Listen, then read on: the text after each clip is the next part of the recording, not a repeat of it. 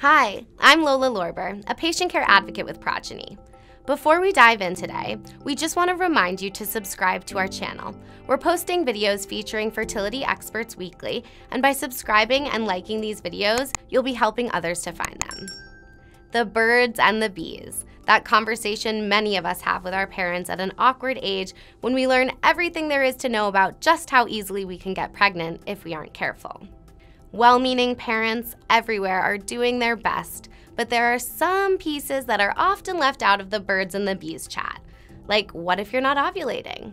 What role does cervical mucus play in all of this? And today's topic how many eggs do women have and when will they run out? That's a long way of saying that today we're going to learn about ovarian reserve, and we're going to do it with the help of an expert, Dr. Ashim Kumar, a reproductive endocrinologist and director of Western Fertility Institute. So without further ado, let's dive in. What is ovarian reserve and how does it work? So I think the concept of ovarian reserve is really an interesting concept. And I like to start at the very basics. So if we take a, think about boys, when boys are born, boys make no sperm. Boys go through puberty, start making sperm, and they'll make sperm their entire lives. So they're actively making sperm. Girls, on the other hand, when they're inside their mother's womb at 20 weeks gestational age, they'll make all the eggs they'll ever have. And that is approximately 6 to 8 million eggs. But the interesting thing is that the vast majority are lost prior to birth. So at birth, we're already down to about 1 million. And at puberty, at age 13 or 14, we're down to 3 to 400,000. At age um, 37, approximately 25,000. So if we do the math, that's 1,000 to 1,500 eggs being lost on a monthly basis. And these eggs are not always there able to grow. Any given time, three months prior to that, the given uh, the follicles that are able to grow at that point were given a signal saying, hey, this is set of 30 eggs, 20 eggs, five eggs, whatever the scenario may be. You're the ones that are the chosen ones that are trying, going to try to make a go of it in November.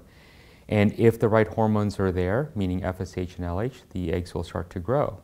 If they're not there, then the eggs will degenerate and then another batch will present themselves.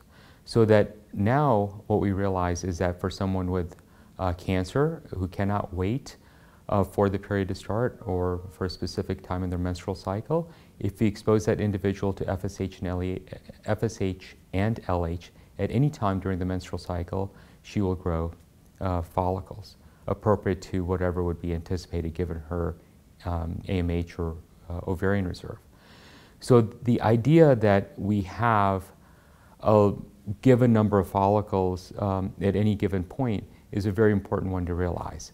Just because the overall egg count may be in the thousands, tens of thousands, or hundreds of thousands, doesn't mean that we can access those eggs at any given IVF cycle.